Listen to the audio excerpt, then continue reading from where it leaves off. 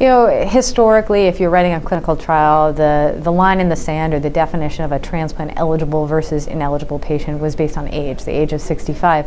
Uh, but we know that that's not how it really plays out in the real world, and that patients up to the age of 75 can be transplanted safely and receive the benefits of transplant. So there's really a gray zone that exists. Uh, and in that area, we really look at other factors such as uh, ability to do activities of daily living, instrumental activities of daily living, comorbidities, uh, you know, other, which means other problems that a patient might have to help us really figure out